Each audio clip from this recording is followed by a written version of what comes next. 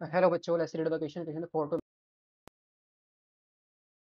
and matrix B is equal to one minus zero two five zero verify that A B transpose equal to B transpose A transpose इसको proof करना है तो कि concept हम इसमें क्या use करेंगे? ट्रांसपोज ऑफ़ मैट्रिक्स को यूज़ करेंगे।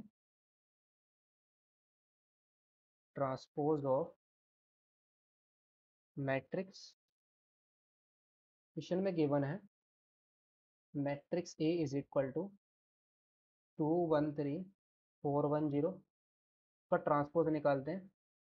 ए ट्रांसपोज कितना जाएगा?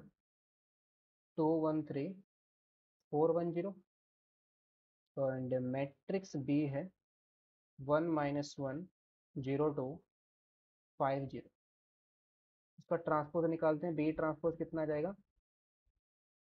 One zero five minus one two zero अब ए इंटू बी निकालते हैं।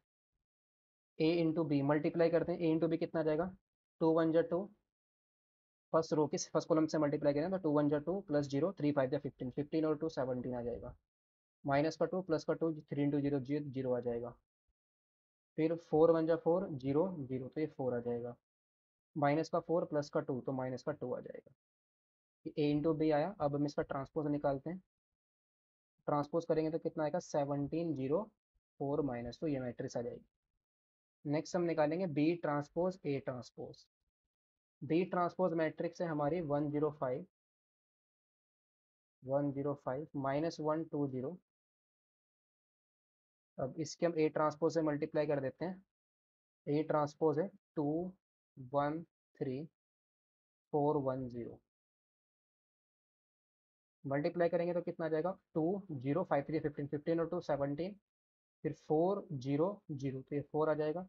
Minus two plus two zero और इंटू ज़ीरो प्लस ज़ीरो तो ज़ीरो ही आ जाएगा। माइनस फोर प्लस टू तो minus four plus two minus का टू आ जाएगा। ये क्या मिल गया हमें? B transpose into A transpose मिल गया। तो हैंस, और दोनों इक्वल ही आ गई। ए इंटू बी का जो ट्रांसपोज है, किसके को आ गया? B transpose into A transpose के को आ गया। यही में प्रूव करना था।